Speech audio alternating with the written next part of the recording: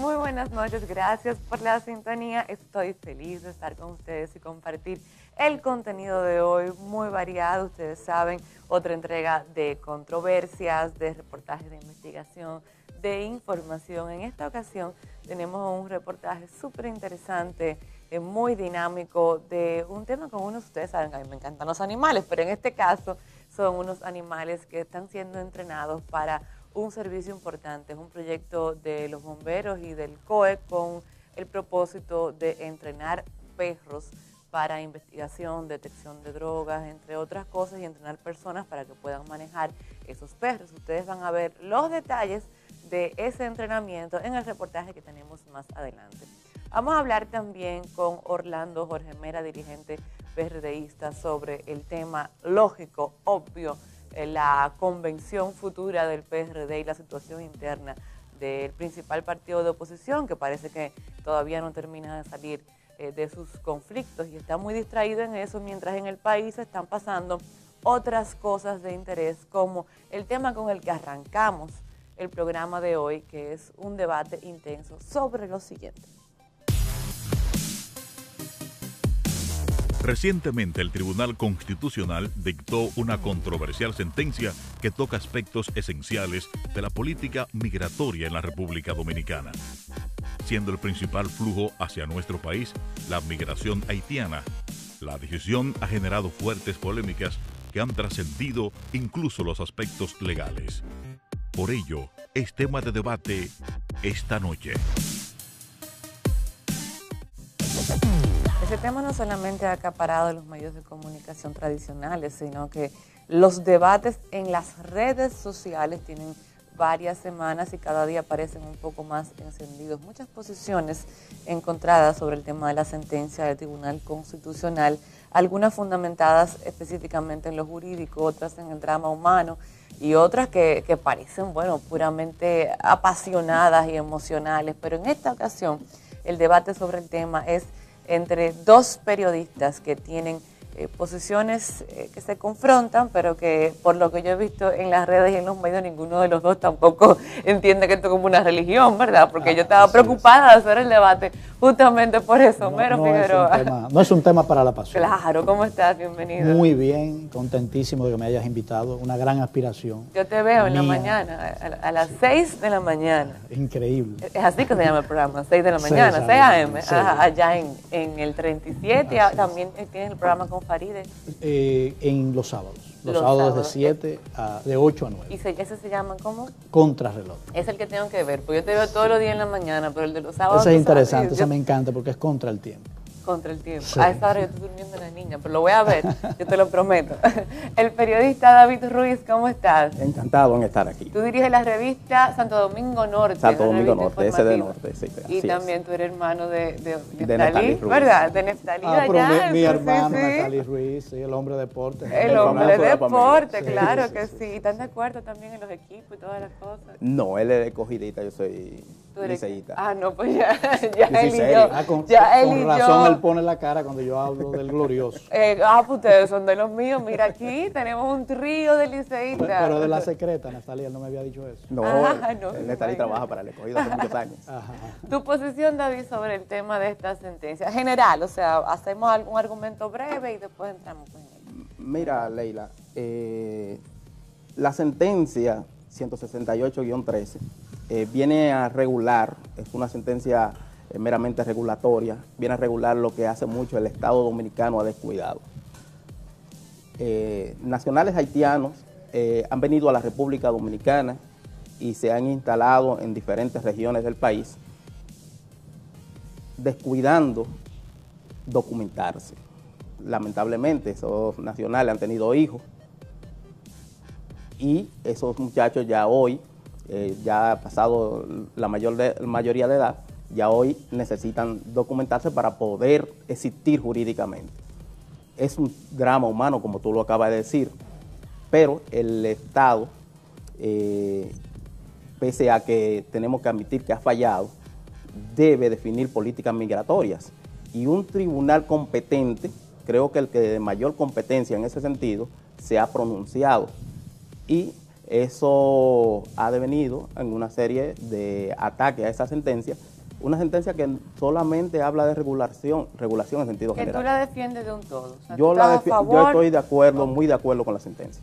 Ok, perfecto. Pues vamos a entrar en los detalles del por qué ahora, pero eh, tu posición general. Yo estoy eh, contrario a la sentencia por su violación al principio de irretroactividad de la ley. Si la sentencia solamente regulara a partir del 2010 de enero, 26 de enero del 2010, estaría de acuerdo totalmente, pero no lo hace así. Retrotrae el tema hasta 1929, tratando de borrar 84 años de gestión del registro con una particularidad legal diferente a la que regula la vida nacional ahora en la nueva constitución.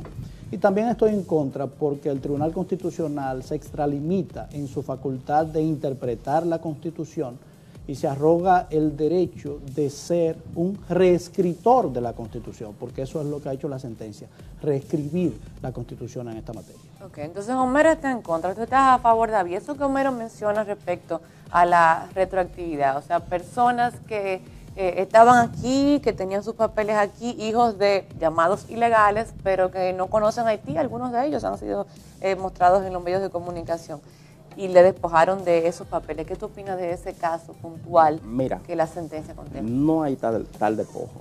Lo primero que hay que establecer es que la sentencia lo que, lo que hace es ra- ratificar eh, una serie de mandatos que tiene la Constitución. Eh, a nadie se le ha dicho que por la existencia de esta nueva sentencia se le va a deportar o se le va a quitar su papel. Inclusive vi a un periodista, porque tú has dicho que en esto existen muchas emociones, y un periodista eh, aquí de Antena Latina que hace un reportaje diciendo cuáles, cuáles peloteros van a perder su nacionalidad debido a esa sentencia, cosa que es, es una manipulación burda de, de ese- de esa sentencia. El dispositivo de esa sentencia al que se refiere el señor Homero, en el que establece que a partir del 1929 se debe hacer una auditoría hasta la fecha para poder establecer eh, cuál es la situación migratoria de esos ciudadanos, lo que hace beneficiar a esa gente. ¿Por qué? Bueno, porque una persona que no tenía ninguna posibilidad de legalmente obtener su documento, a través de esto existen mecanismos, se van a crear mecanismos para que pueda obtenerlo. Simple y llanamente. Bueno, ahí hay un punto que hay que aclarar. Se trata de un universo de personas que ya poseía documentación. La accionante ante el Tribunal Constitucional, Juliana de Guispierre, tenía un acta de nacimiento regular expedida por una oficialía civil de la República Dominicana, amparado en una normativa legal que existía hasta el 25 de enero del 2010 que la hacía a ella eh, ser titular del derecho de la nacionalidad dominicana en virtud del nacimiento. Había nacido en suelo dominicano y la constitución que regía, que regulaba nuestra vida eh, nacional en esa época, reconocía la posibilidad de obtener la nacionalidad por el simple nacimiento. Entonces, Nadie ¿qué es culpable con de ser ella hijo- ahora? ¿Se tiene que ir para Haití?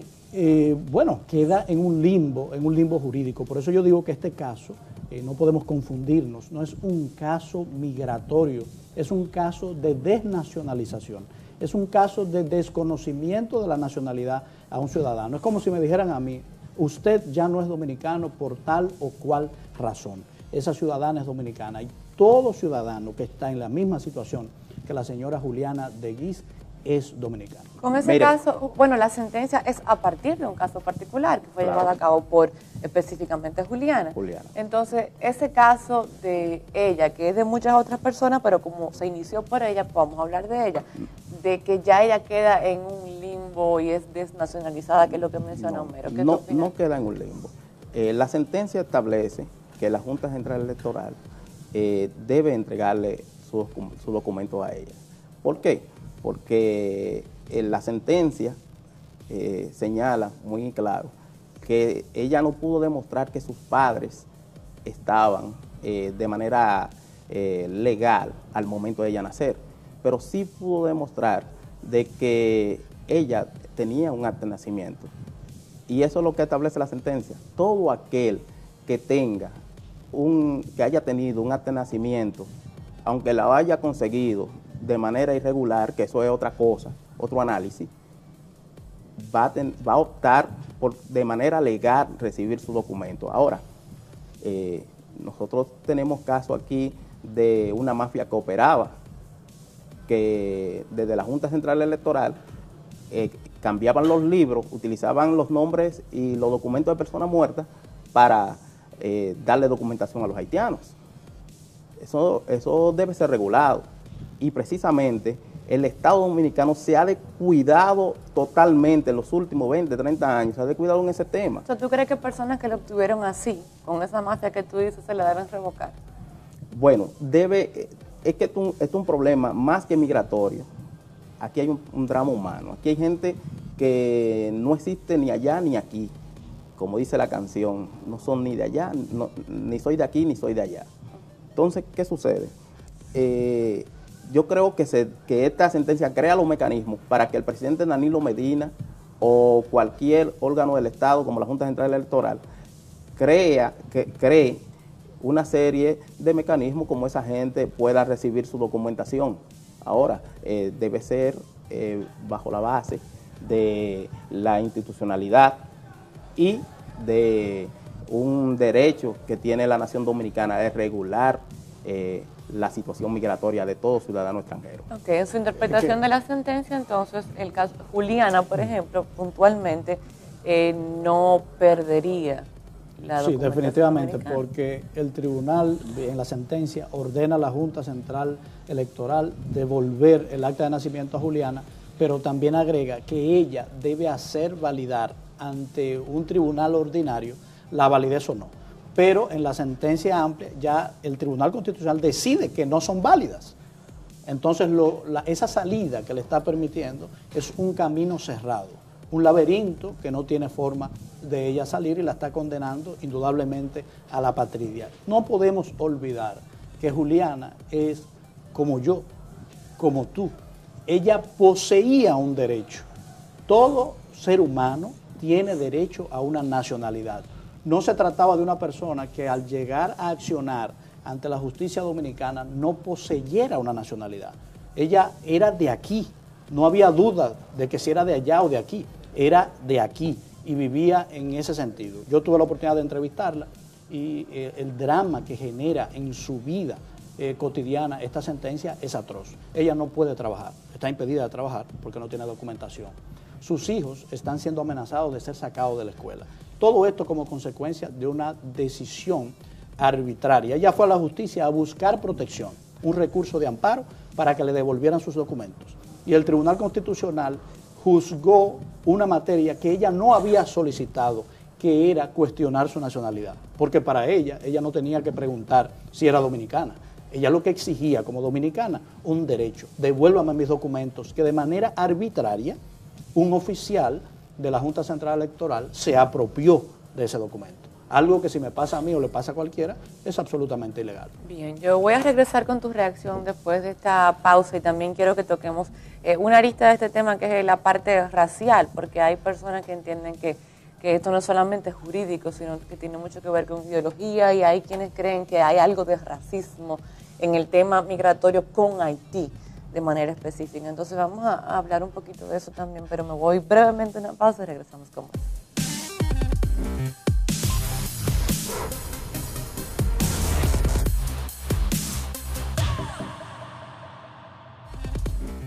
El tema que se discute esta noche es la sentencia controversial del Tribunal Constitucional que ha estado ocupando las primeras planas de los periódicos en las últimas semanas. Y bueno, aunque hemos hablado un poquito aquí con mis invitados, los periodistas Homero Figueroa, David Ruiz, respecto a un componente jurídico de la sentencia, la retroactividad o no, la desnacionalización o no, eh, también, además de, tener tu reacción sobre lo que dijo Homero en la última parte del primer segmento, quiero que agreguemos el elemento racial dentro del análisis. Dame tu opinión.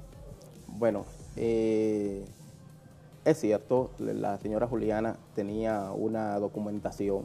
Eh, también el drama que ella vive, nosotros hemos estado dándole seguimiento. No tan solo ella, son miles de haitianos que están pasando por esa situación eh, hay que saber lo que es, eh, mm, aún uno teniendo documentos, no poder acceder, por ejemplo, a cuenta bancaria por el asunto crediticio, uno sabe todo, todo eso. Ahora, eh, había una situación que regular en años pasados que no se hizo y hoy esos jóvenes ya son adultos y necesitan su documentación. nosotros entendemos en ese sentido que el Estado debe buscar una solución si tú te pones a contar esos casos, no llegan a 20 mil. No llegan a 20 mil. Eh, el Estado puede hacer una amnistía, puede hacer un perdón, lo que sea, contar de buscarle una solución. Y eh, la señora Sergia Galván me decía en Twitter que ellos no han hecho nada, que no necesitan un perdón. Eh, estamos de acuerdo. Pero hay que buscar una solución hay que buscar una solución y esa solución tiene que ser de Estado. ¿Tú no crees que tiene que ver con el hecho de que son haitianos y no chinos o ingleses, por ejemplo? No creo, no creo. Mira, el pueblo dominicano no es racista, no es racista. Y la, muestra de ello es que no puede serlo porque el, pueblo dominicano es del mismo color que el pueblo de Haití, eh, con sus excepciones eh, y cosas, pero no es racista. Nosotros eh, lo que creemos es que hay una manipulación de sectores interesados que quieren presentar a la República Dominicana como una, una corte de clavizadores. Y eso no es así. Eso no es así. Aquí se dio una situación que multinacionales que se, se dedican al tema del azúcar trajeron, eh, y el mismo Estado trajo en los años 70 eh, eh, y 80 muchos braceros haitianos a la República Dominicana. Y una vez pasada la bonanza de esa industria, entonces se, se olvidaron de esa gente. Y esa gente, como no, eran la mayoría letrados, no se dedicaron a regularizar su situación y hoy se estamos viviendo la consecuencia por un Estado que también le dio la espalda a ellos.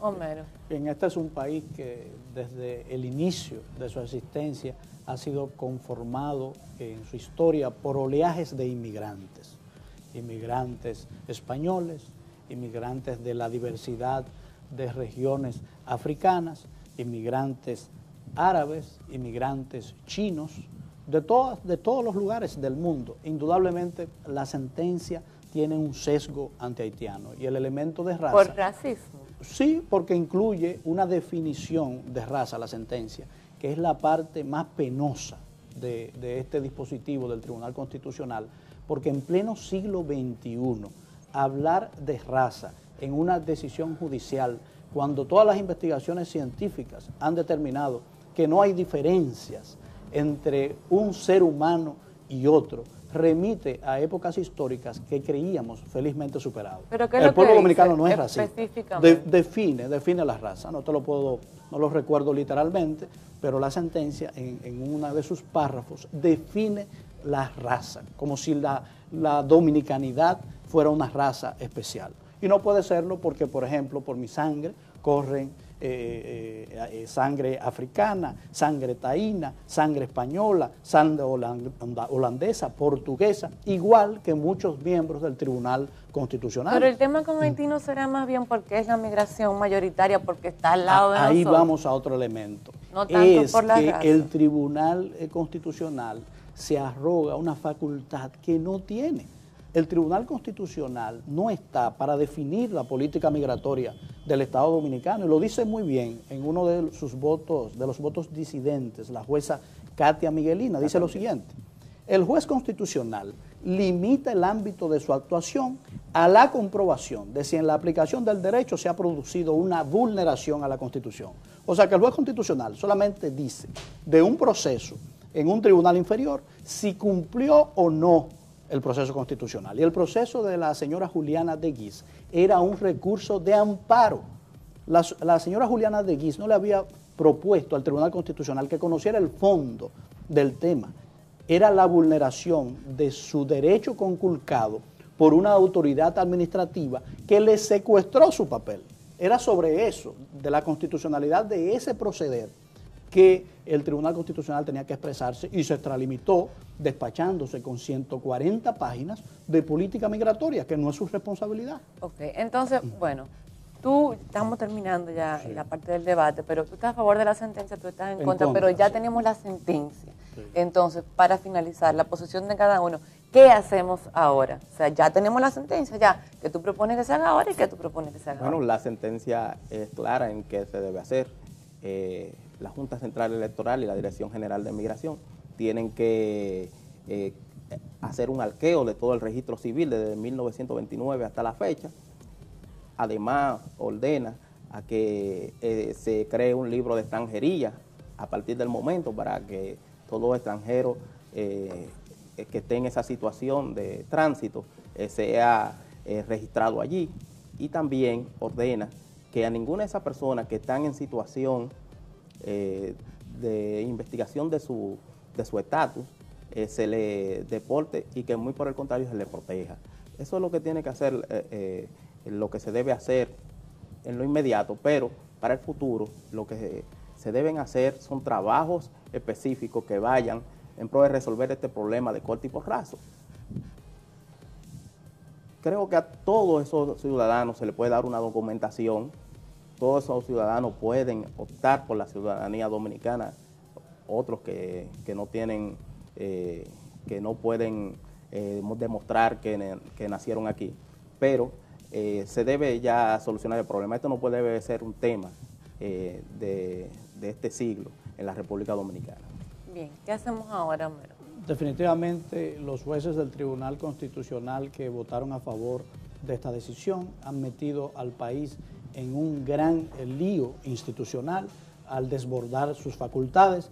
Eh, este problema tendrá consecuencias graves para la República Dominicana en el escenario internacional y yo creo que hay una solución posible. Es que si hablamos de una sentencia que es violatoria de la Constitución, es una sentencia que es nula, es nula. En la República Dominicana cotidianamente violamos todas las leyes.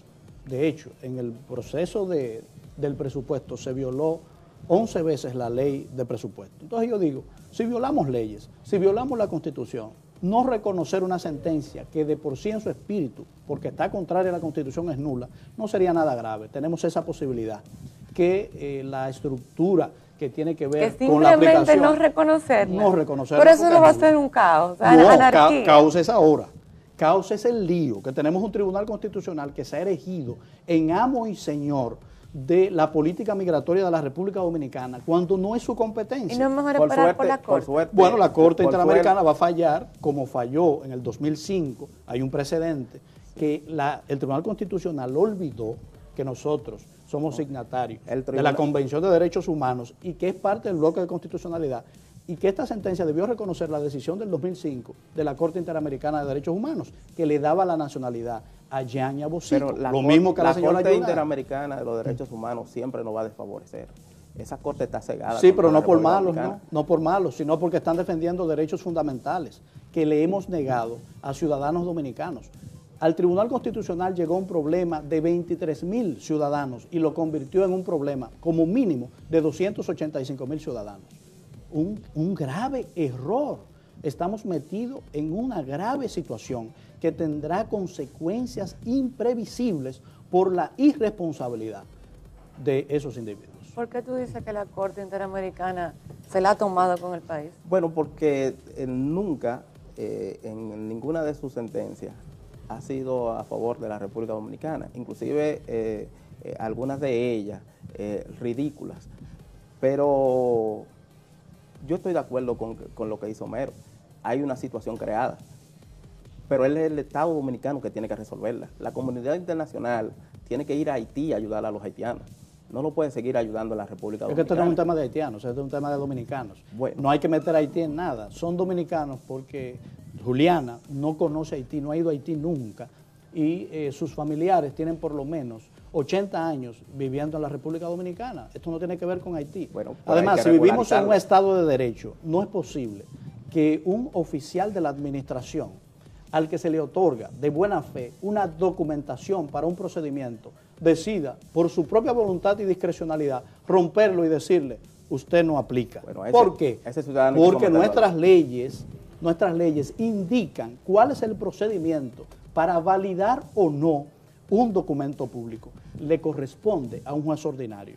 Entonces estamos ante la violación de un derecho fundamental y eso para todo ciudadano consciente en cualquier país del mundo es inaceptable. Yo tengo que irme ya. Muchísimas gracias. Una pena, David. estaba interesante. Sí, Sí, sí. muchísimas gracias Homero por compartir conmigo y el público del programa. Me imagino que ahora lo que queda es básicamente esperar que el próximo paso que yo veo que se está tomando es ante la Corte Interamericana de Derechos Humanos. Mientras tanto, nosotros nos quedamos aquí con más contenido del programa. Más adelante una entrevista con el dirigente periodista Orlando Jorge Mera. Tenemos el reportaje de investigación y el segmento de opinión, pero todo después de esta pausa, así que no se vayan.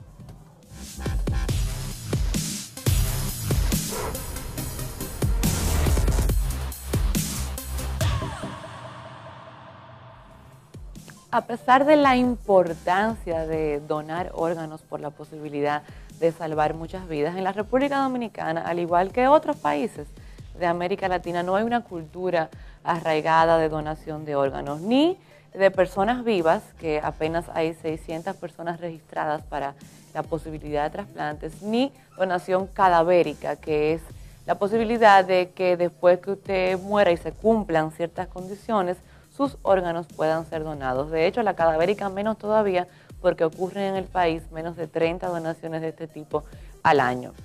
En el cuerpo humano hay 7 u 8 órganos que pueden ser donados después de la muerte, cumpliendo ciertos requisitos como la muerte cerebral, que no tengan infecciones, que no tengan enfermedades y un conjunto de cosas que en total hacen que solo el 5% o menos de las personas que mueren en clínicas y hospitales puedan efectivamente cumplir las condiciones para ser donantes. Y a eso se le suman otros factores como el hecho de que tienen que expresamente decirlos y por tanto autorizar al médico y que esa autorización tiene que ser rápido porque hay un margen de horas para que los órganos tengan eficacia, que funcionen todavía y puedan tener larga durabilidad, eh, evidentemente son muy pocos los casos en que eso puede llevarse a cabo. Incluso hay órganos como el corazón, que sostenerlo varias horas cuesta mucho dinero, es tan costoso y es tan difícil que es necesario prácticamente eh, de forma inmediata hacer el trasplante si ha sido autorizado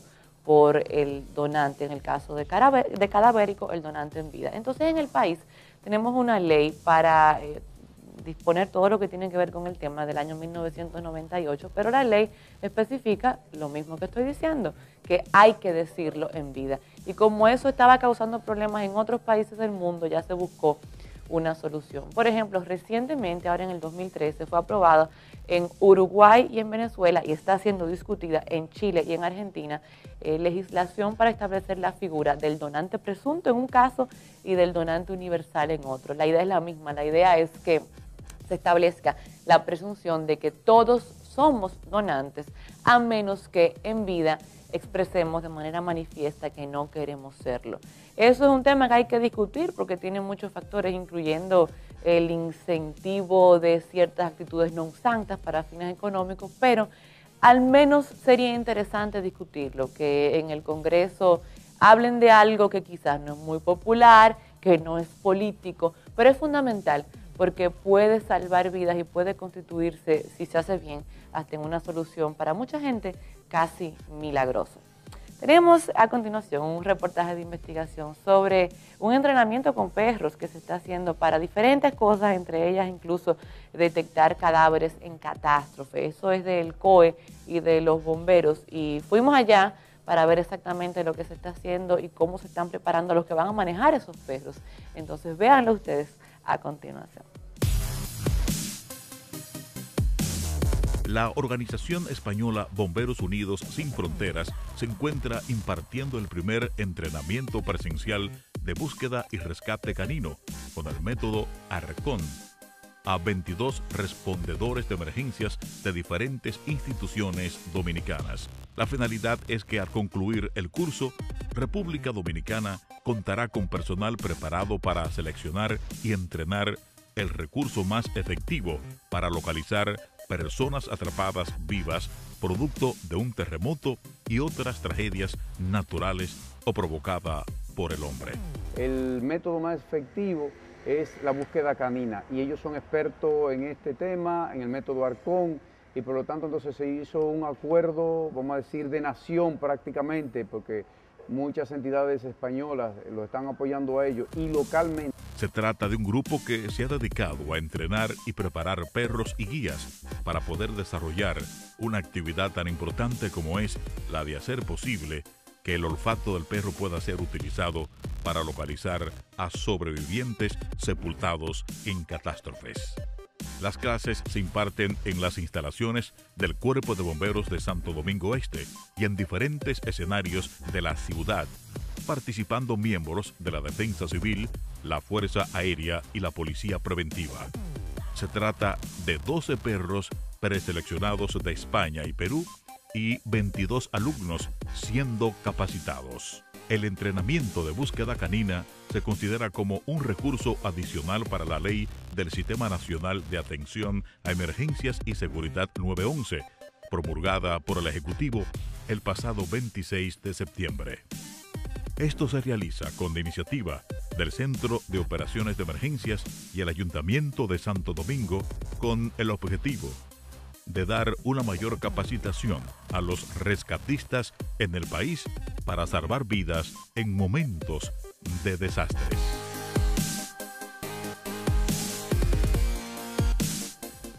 Estoy como invitado, como anuncié al principio del programa, un gran abogado, el gran político, dirigente PRDista, Orlando Jorge Mera. ¿Cómo estás? Bienvenido.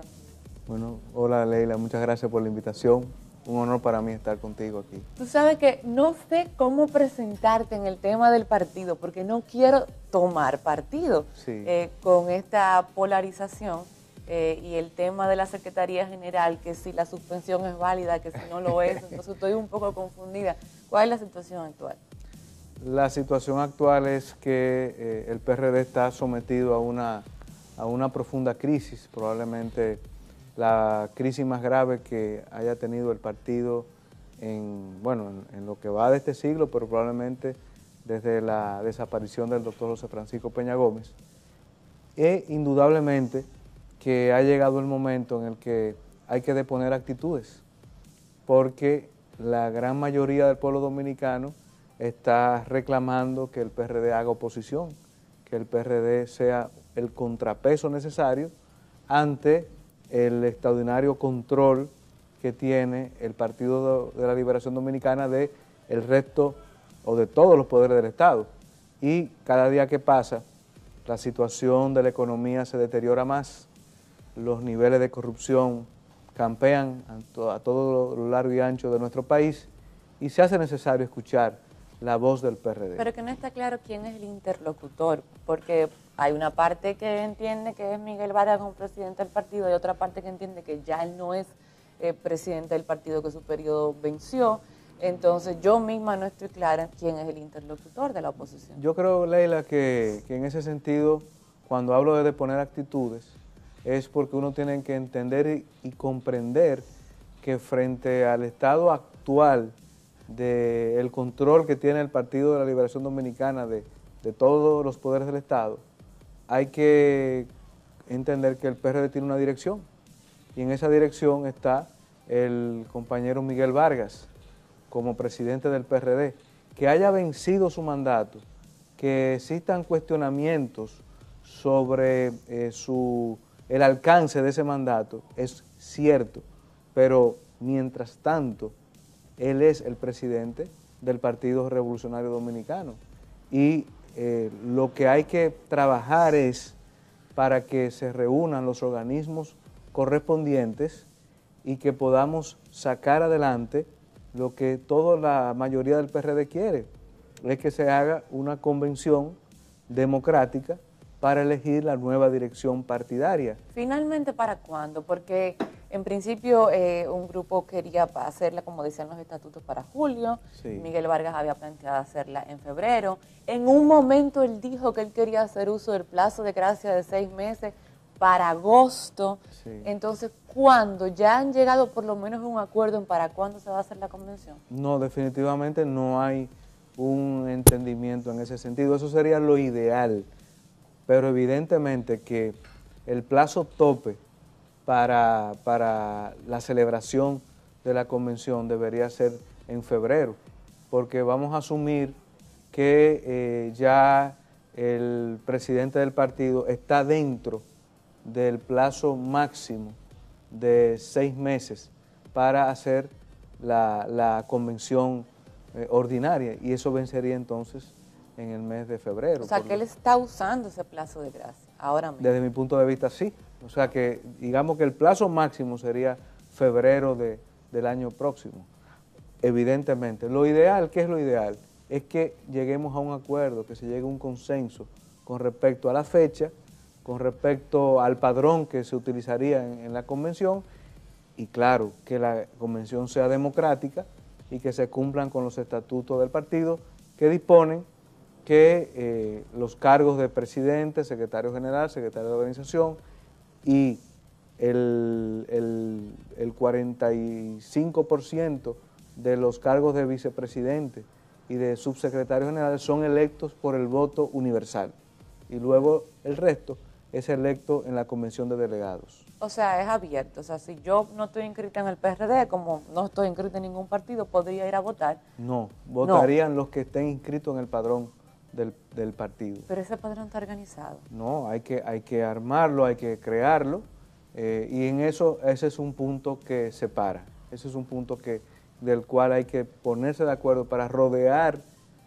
que la conformación de ese padrón sea satisfacción de todas las partes y sea con la transparencia necesaria. Para llegar a ese acuerdo, ¿qué se está haciendo? Porque tienen que sentarse a hablar, entonces, ¿quiénes se están sentando a hablar ahora mismo para llegar a un acuerdo? Hay una comisión que se ha llamado la Comisión Mediadora, que es la que ha estado en el curso de los últimos meses en contacto con el compañero Miguel Vargas. Y esa es la comisión que está a cargo de ver cómo se llega a un entendimiento en estos puntos. ¿Pero está estancada o está avanzando? Yo siento que ahora mismo hay un, hay un nivel de estancamiento y, y, eso ya llega a un nivel de, en el que la militancia del PRD está deseando que se produzca una solución.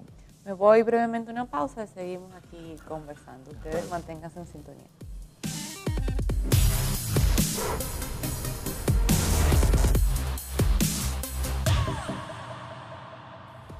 Sigo conversando con Orlando Jorge Mera. ¿Cuáles son tus planes? Porque sabemos que el partido eh, está, bueno, en el proceso de llegar a un acuerdo, pero que no está claro si va a llegar porque no estamos viendo avance. Pero tú desearías eh, repetir como secretario general o aspiras a otra cosa, quizás presidir el partido. O sea, ¿cuáles son tus planes? Mira, tu pregunta es muy interesante, pero uno tiene que, que tiene que partir de una realidad. Yo siento que en este momento las aspiraciones personales están eh, fuera de, la oportunidad que pudieran tenerse en otras circunstancias, porque definitivamente hay un problema. Uno dice, bueno, aspirar a qué y con qué, porque indudablemente el PRD, que es el instrumento que tenemos nosotros está pasando por una crisis. Entonces, sin reglas claras, sin fechas establecidas, sin una comisión que sea confiable para todos los sectores, yo siento que aspirar en términos personales eh, sería una, un golpe a los deseos que tienen la mayoría de los PRDistas de salir de esta crisis. Esto no significa que el PRD, que es una escuela de la democracia, hay múltiples aspiraciones actualmente que son legítimas, yo respeto esas aspiraciones, pero en el caso particular mío, eh, yo entiendo que debo esperar a que se produzca una, solución a, a, la crisis del PRD y que el PRD pueda salir airoso de este proceso y ya con las reglas claras, entonces tomar las decisiones correspondientes. Ahora, tú me hiciste una pregunta al comienzo y yo creo que no, te la respondí. Yo siento que, en el caso de Hipólito Mejía, el caso de Andrés Bautista y Anilda Vázquez y quien te habla, que hemos asumido una, una posición clara frente a todo este proceso luego de las elecciones de mayo del 2012, entiendo que nadie nos puede sacar del PRD. Yo nací en el PRD, me crié en el PRD, toda mi vida ha sido dentro del PRD y por lo tanto no, absolutamente nadie me va a sacar del Partido Revolucionario Dominicano. Y por lo tanto aspiro a que el PRD pueda salir de esta crisis y aspiro a que depongamos actitudes. Y yo siento que la mayoría de los, de los dominicanos eso es lo que quiere. Donde quiera que uno Sí, va, claro. o Leila, sea, donde quiera que uno va, Que ya, la gente te pregunta Que hasta ya. cuándo, hasta cuándo va a seguir la situación en el que PRD. se aclaren y se pongan ya para congresuales Exacto, y presidenciales. Porque, porque la gente también está cansada del PLD. El- este gobierno son nueve años de gobierno. No es, un gobierno, no es un solo año del presidente Danilo Medina, son nueve años de gobierno. Y yo siento que el presidente Danilo Medina tiene su propio estilo, pero desde mi punto de vista es más de lo mismo. Y frente a esa situación es que necesitamos construir un proyecto político en torno a un partido, y ese partido es el Partido Revolucionario Dominicano, que tiene que ser renovado, que tiene que tener ideología, que tiene que estar unido y, y si- y tiene que ser un partido fuerte. Yo sé que si hay un elemento común de la gente es que el PRD juegue su rol de oposición, incluso a los que favorecen el gobierno, porque es un tema de, de balance y, y de equilibrio. Pero, ¿qué pasa si ocurre el peor escenario posible? Es decir, no llegan a ningún acuerdo, se hace la convención en una fecha eh, que no quiera una parte del partido, eh, se hace con una comisión organizadora que ustedes entiendan, por ejemplo, que no es democrática, o sea, el peor escenario posible. ¿A qué podría dar pie? Quizás a que se cree otro partido aparte, como planteó Hugo Tolentino Dip, o eso no es una opción. En el- desde el punto de vista mío, nunca me he planteado estar en otra organización política que no sea el Partido Revolucionario Dominicano. La historia está ahí. La historia está ahí y, y no, voy, no voy a entrar en detalles, pero está muy claro qué ha pasado con aquellos que de alguna u otra manera, con derecho o sin derecho, han intentado construir otras opciones Sí, el PRCD, el afuera partido de, de- afuera de- afuera de- del Partido Revolucionario Dominicano. Ahora, en, en- respondiendo a tu pregunta, yo creo que no preveo que exista un escenario peor de esa naturaleza, porque entiendo que aún hasta los más radicales de cualquiera de los sectores están en estos momentos deseando que se produzca la unidad partidaria y que se produzca el consenso. ¿Por qué?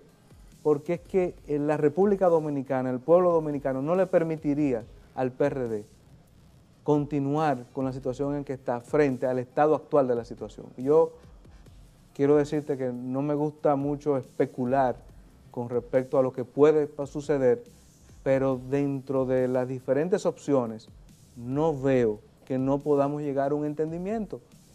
Y el entendimiento debe ser convocar la comisión política, establecer una agenda institucional con respecto al proceso convencional y ponernos de acuerdo con respecto a esos puntos. Y yo creo que hay la suficiente madurez en todos los sectores para producir ese entendimiento. El problema es que yo he entrevistado a varias personas del PRD, tanto eh, del grupo que de cierta forma encabeza Hipólito Mejía, como gente que son adeptos de Luis Abinader, como personas que son del grupo de Miguel, y todo el mundo me dice que hace falta un consenso y que debería llegarse a un consenso, o sea, como que siento que todo el mundo quiere un consenso, pero no, no se está avanzando, entonces de buenas intenciones no, no, no se va Yo a creo hacer el que, consenso. Mira, en política hay cosas que se ven y cosas que no se ven.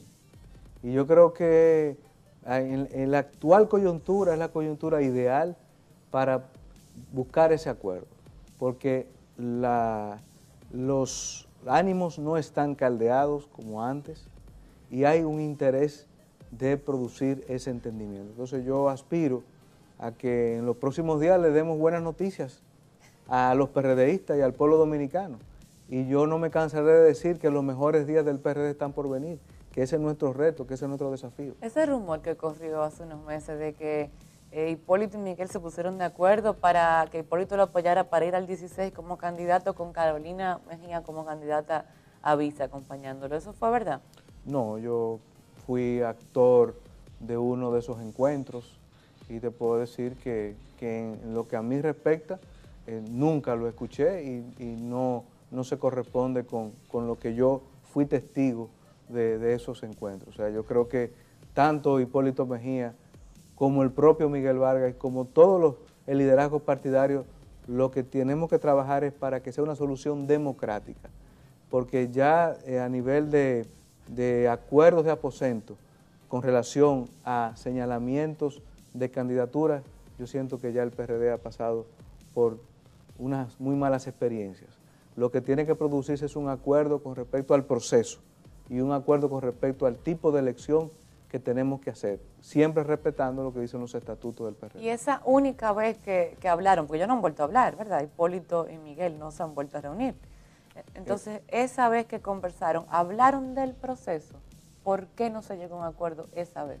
Entiendo que eh, es posible que hayan hablado pinceladas, pero luego se designó una comisión y la propuesta que hizo eh, el compañero Miguel Vargas fue una propuesta que no fue aceptada, porque lo que pretendía era, era eh, constituirse en candidato presidencial y presidente del PRD sin pasar por los mecanismos democráticos. Ahora la situación ha variado y entiendo que las propuestas que se están haciendo es en aras de buscar una salida democrática y que lo que quedan es en ponerse de acuerdo con esos detalles, padrón, fecha de elección, método de elección, y entiendo que lentamente, pero se está por el camino correcto. Ahora, lo que queda es el de, el de concretizarlo. Y se van a volver a juntar, porque yo siento que a veces las cosas se diluyen en comisiones. Eso no es algo que pasa nada más en los partidos, eso pasa en los gobiernos. También una comisión para esto, una comisión para lo otro. Pero ellos dos que la gente entiende que ahí que está el asunto. O sea, Miguel y Hipólito, ellos dos se van a volver a juntar, a ver la cara de frente para hablar todos estos temas. Yo no sé si se vayan a reunir o no. Lo que yo te puedo decir es que el nivel de presión que existe en las bases del partido, en la militancia del partido para producir un acuerdo, mira, se han pronunciado los síndicos, se han pronunciado los diputados, se han pronunciado los ex senadores y se han pronunciado una serie de dirigentes importantes en aras de producir un entendimiento. Y yo creo que estamos en el camino correcto.